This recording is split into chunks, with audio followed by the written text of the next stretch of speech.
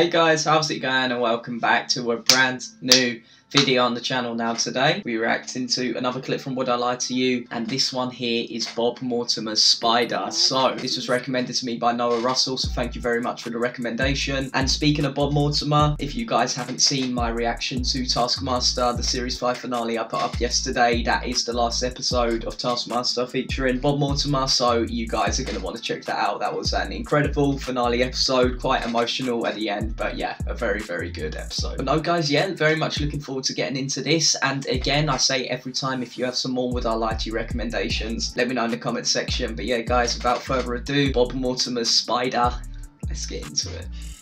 And I here we recently go, had to charm a spider out of my shoe by tooting a flute at it. Okay, David's team. so similar to to charming a snake. So, where, where were you? I was at home. So, was this spider a normal British domestic spider? Yes. How, how big was it, Bob? It was. It's black, but it's not one. And what colour was it? What I was telling- It's not the ones that have got a little body and big long. Yeah, I know that. so, ones. it wasn't the type with a, with a small body and long legs? Yeah, no. What type was it? It was Well, you the can one- wear the rest out yourself, surely. yeah, Big body, small legs. yeah, it makes Was sense. this a gerbil? No, that's a If we bird. were doing you a idiot. gerbil, I'd have used a lute.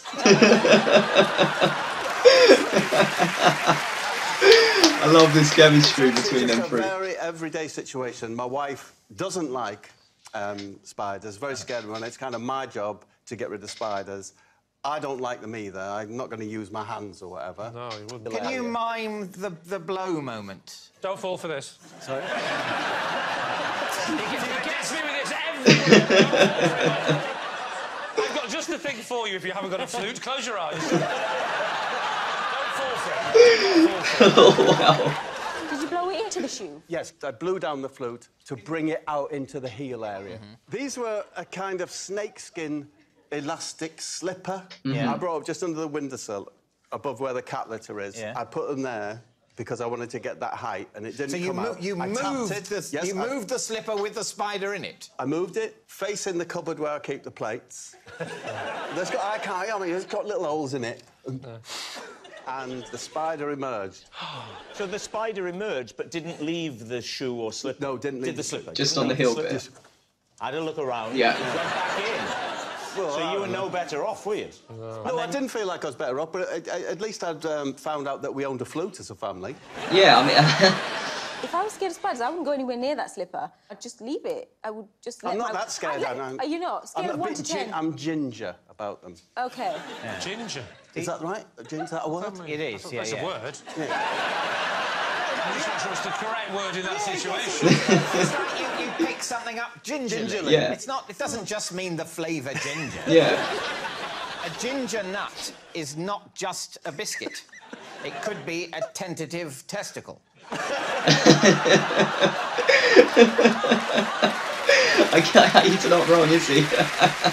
Do you now know who the flute belongs to? Yes, of course, it was my son's flute. Your son, is he a flautist? No. We hoped he would be, but he could never find the flute. makes sense, Bob. Makes sense.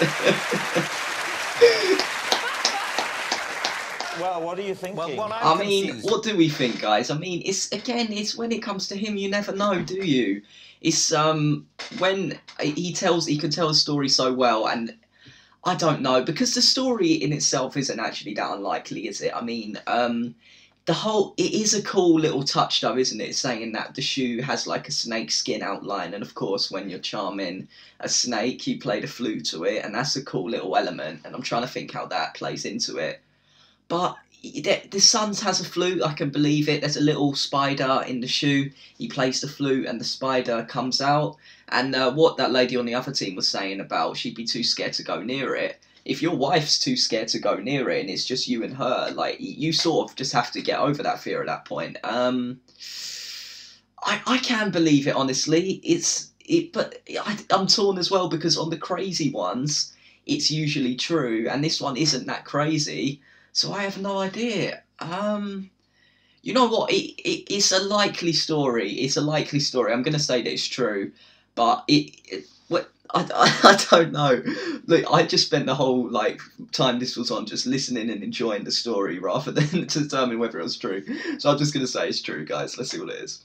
Right. Is if you fear spiders, I do a bit. and you believe that there's a spider in this shoe, I think you would be afraid to move the shoe. Yes.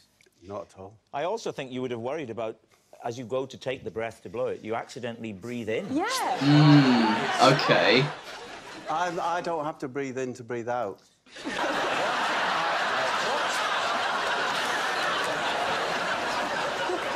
Michael, what did Is, is no one going to question Sounds that? too much like the surreal world of Bob Mortimer to be actually the truth. I think it's a lie.